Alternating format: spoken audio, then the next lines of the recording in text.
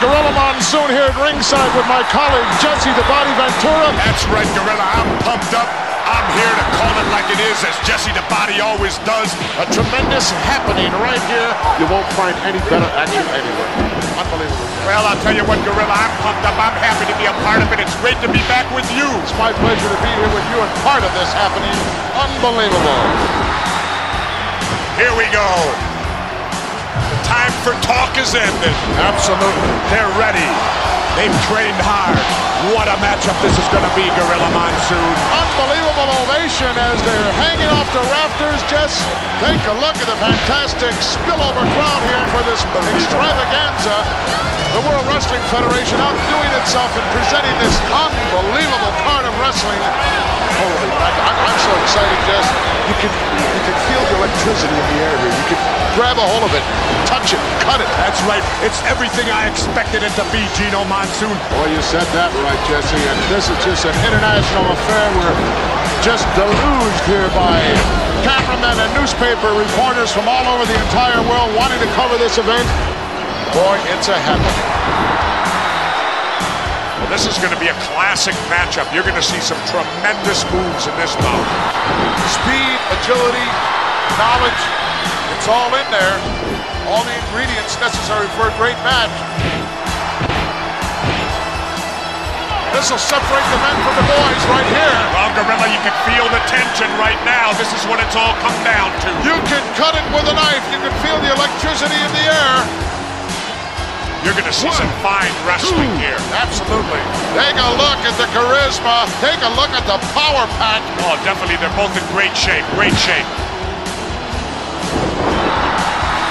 I got to do my normal. Say hi to my four biggest fans in Minneapolis. Terry, Tyrell, Jake, Jeremiah. They could be the only four. What are you talking about? I don't know. I never heard you say hello to anybody else before. And You're a long way from home, Jess. I'm halfway across the country. Prince is watching at my house. Oh. He's a big fan, you know. I understood just that uh, your dog was named Prince. Is that, is that correct? No. Oh. Someone misinformed me. You're, you're, you're all full of misinformation, Monsoon.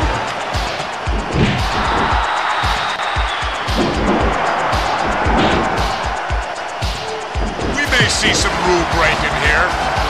You like to believe all scientific, but you'll see greed come out. I'll, I'll be surprised, Jess. I'll be surprised. Both men of extremely high character. tremendous respect for I each other. I can feel the volcano getting ready to erupt, You think so? Oh, I can feel it, the tension. Give me a break, Jess. How come you don't believe everything I tell you? Because uh, sometimes you're a fountain of misinformation. Never. I'm the man who tells it like it is. You must have had some steam on your lenses. You're worse than Watergate, At that point in time. Yeah, How are you going to win if you ain't aggressive? You injure something, you go after it. What is this? He's also a sportsman, Jess. A sportsman. Sportsmen are only involved in duck hunting and pheasant hunting. Get Dave.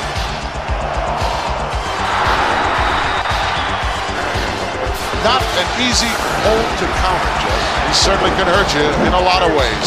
Oh, yeah, that's smart wrestling. You know, if you can get your body in the way of that referee, call it dirty, damage. dirty wrestling. Dirty wrestling, smart wrestling, it's winning wrestling, dare tell me you never thumped nobody.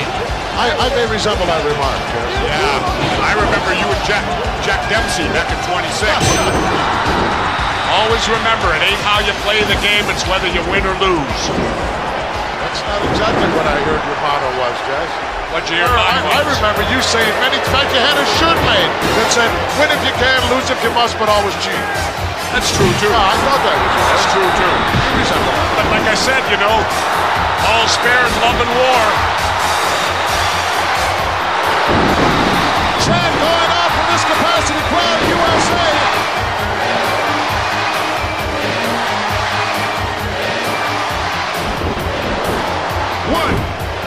like two wild bulls. This is, this is a straight grudge match right here. These two guys just do not like each other. No love lost here. This is going to be a classic confrontation here. You got two veteran wrestlers. They, these two guys also, just are the type of guys who, if necessary, could wrestle for an hour and a half. Definitely. I tell you, these are like two big Mack trucks colliding head on. Irresistible force meeting the immovable object. Both of these guys will be pulling out all the stops. You can bet on that one.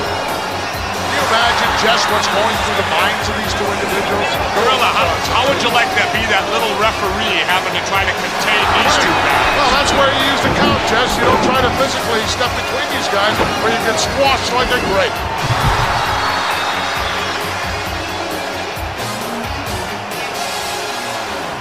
I like to take my time too. It's a psych out thing. Gorilla Monsoon. It's a psych out. You get your opponent, you get him upset. Just those little added ledge edges can mean the difference between victory or defeat. Very, very important part of professional wrestling, psychology, and no one knows it any better than my colleague. Very well put, Jesse. Well, it's important the pace of a match. Some guys like a slower pace, other guys like a faster pace. And if you can get your opponent to wrestle at the pace you want to go at, that's to your advantage at all times. You know that as well as I do, Gino. My, my key was never play another man's game, Jess. That's right. You know, make him play your game if at all possible. Don't play his, and if you can't get either one, then just wing it. That's right.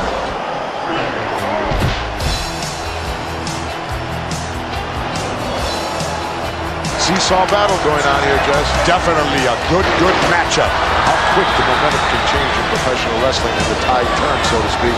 If you don't have a basic wrestling knowledge, you can forget about it. That's right, that's right. Unless possibly you're an awesome individual like a King Kong Bundy.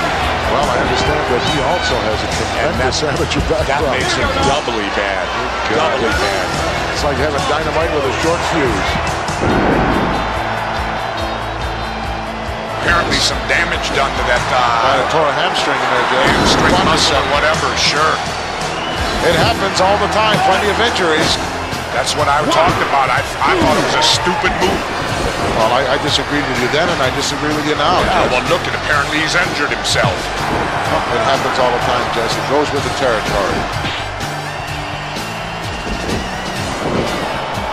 I understand somebody's in jeopardy of you losing their yacht, Jess. Is that correct? Who? I know, one of your millionaire friends. I don't know. Not Marv. Oh, no. I didn't say any names, did I? Oh. I know you like to rub elbows with those guys, Jess. No, no, no, no. They like to rub oh. elbows with me. Sorry. Find out all the Hollywood gossip. Sure. I was on the plane the other day with Farrah Fawcett. You were. Couldn't keep her away from me. Had to call the stewardesses for help. Witness. Certainly. Ryan O'Neal saw the whole thing. I. Had a chance to see Mr. Perfect's father, Larry the Axe Hennig. Yes, I did. Still got a 24-inch neck. He said he had to lose 20 pounds. I said, get your neck down to 18.